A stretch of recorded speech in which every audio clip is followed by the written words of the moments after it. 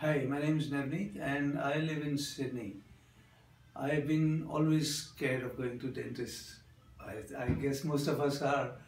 Uh, while in India, I thought, you know, I should get my teeth checked up because of I had some occasional problems with my gums and uh, I have a friend in Sydney who's a very renowned dentist and he used to always tell me that no, you should go to a dentist every year. So I thought, well, I'm here, I will find a dentist and uh, visit.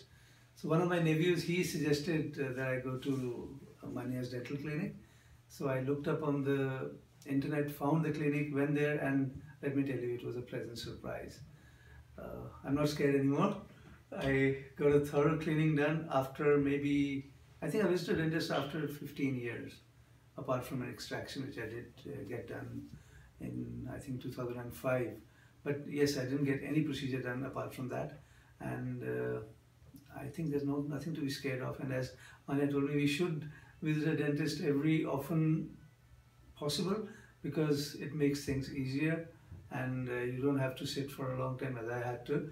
But yeah it wasn't wasn't any uh, there was no discomfort no pain. And uh, I am happy with what I got.